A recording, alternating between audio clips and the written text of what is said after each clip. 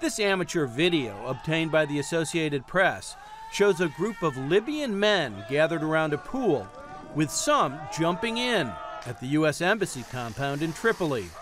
An Islamist allied militia group known as Dawn of Libya invited onlookers, including an AP photographer, inside the compound.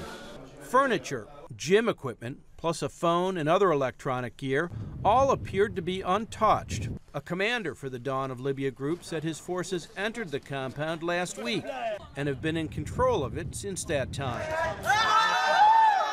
A little over a month ago, U.S. diplomats evacuated the compound and Tripoli under a U.S. military escort as fighting between rival militias intensified.